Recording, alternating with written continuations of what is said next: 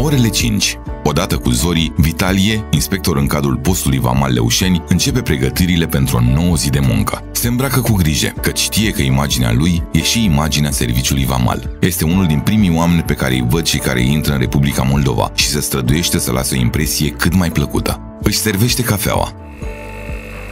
Aruncă o privire peste ceea ce mai scriu site-urile de știri schimbă câteva vorbe cu soția. Și-ar fi dorit să nu o deranjeze atât de devreme, dar de-a lungul anilor și soția și cei doi copii ai săi și-au făcut un obicei din a se trezi pentru a-l petrece și a-i ura o zi de lucru cât mai bună. Serviciu ușor? Mă duce.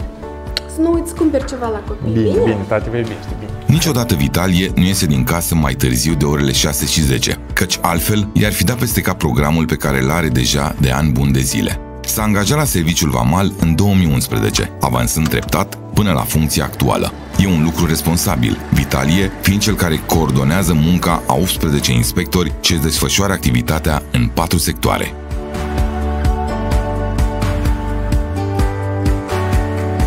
Îi așteaptă 12 ore de lucru intens și Vitalie se grăbește pentru a reuși, până la începutul zilei de lucru, să vorbească cu ei, să stabilească clar ce au de făcut ca lucrul ce le-a fost încredințat să fie făcut cât mai bine. La 7.30 începe ședința de planificare. Bună dimineața! Să trăiți!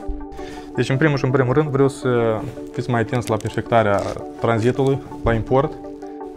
Fiecare trebuie să conștientizăm că trebuie să ne facem lucru bine, să ne, să ne mobilizăm și să reușim să arătăm și careva rezultate. Nu doar să perfectăm, dar să înregistrăm și careva sesizări cu privire la încălcarea regulilor vamale, ceea ce este primordial pentru fiecare în parte. Bine, tot la sectoare.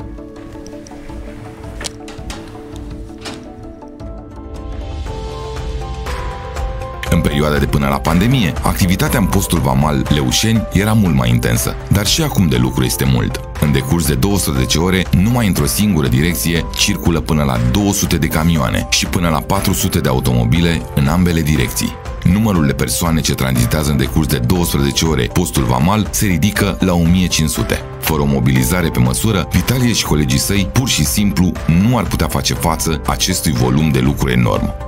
După atâția ani de muncă în echipă, ei se descurcă de minune, având și abilitățile, dar și experiența necesară. După mica ședință de dimineață, Vitalie merge în teren pentru a se convinge pe viu că lucrurile merg bine. Dacă e cazul, se implică personal și își ajută colegii responsabili direct de operațiunile de verificare. Bună ziua! Care scop călătoriei noastre în Republica Moldova? Vin acasă. Aveți ceva de declarat? Doar bunuri personale, da? Deschizi, vă rog, portbagajul. Da, bine. Vă dorim drum bun. Vitalie e mândru de echipa în care activează, deoarece simte că are o contribuție directă la dezvoltarea țării sale. Și el și colegii săi înțeleg că cele 22 de miliarde de lei pe care serviciul Vamal îi transferă în fiecare an la bugetul de stat sunt ulterior distribuiți pentru salarii, pensii, proiecte de infrastructură, obiecte de menire socială. An de an, serviciul Vamal reușește să asigure circa 56% din veniturile bugetului de stat lucru care îl face pe Vitalie, ca și pe oricare din cei 1500 de persoane ce activează în cadrul serviciului Vamal și a celor 90 de posturi vamale pe care le are Republica Moldova, să se simtă utili țărilor. Chiar și în perioada stării de urgență națională, serviciul Vamal a reușit să acumuleze circa 3 miliarde de lei, oferind bugetului de stat mijloacele de care avea mare nevoie pe timp de criză. Criza încă nu a trecut și aceasta îl determină pe Vitalie și pe colegii săi să depună și mai mult efort, înțelegând că acum țara are și mai multă nevoie de ei. După ședința cu inspectorii, dar și după câteva ore petrecute în contact direct cu cei care traversează postul Vamal, Vitalie merge la o ședință cu superiorii. Domnul șofer, puteți să raportez care e situația la moment. La toate sectoarele se activează în regim normal. Postul Vamal Leușeni este unul dintre cele mai aglomerate. De aceea, asigurarea bunei activități acestuia este preocuparea de baza conducerii sale. Ședințe de acest gen au loc uneori de câteva ori pe zi, însă ele se organizează numai la necesitate și durează doar atât cât este nevoie pentru a se lua cele mai bune decizii pentru situațiile ce apar în procesul de lucru. După astfel de ședințe, activitatea postului Vamal devine și mai dinamică și mai organizată.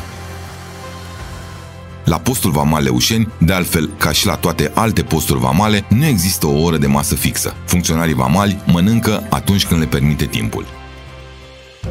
Până seara târziu, Vitalie și colegii săi muncesc de zor, lucrul direct cu cei ce traversează postul vamal fiind întrerupt doar de ședințele operative, atunci când apare necesitatea lor sau de gestionarea situațiilor ieșite din comun care au loc uneori. Din păcate, unii mai sunt interesați de scheme de contrabandă și vameșii trebuie să dea dovadă de maximă vigilență pentru a le depista la timp și a nu permite prejudicierea bugetului țării. După ce își încheie tura, Vitalie pornește spre casă. E vizibil obosit, căci efortul pe care îl depune împreună cu colegii nu are cum să nu spună cuvântul. Totuși, găsește puterile necesare pentru a merge puțin și la sala de sport, căci înțelege că forma fizică bună e o condiție obligatorie în funcția pe care o deține. Face sport, dar între timp se gândește la ziua ce a trecut, dar și cum să-și surprindă copiii, căci dimineața le-a promis o surpriză.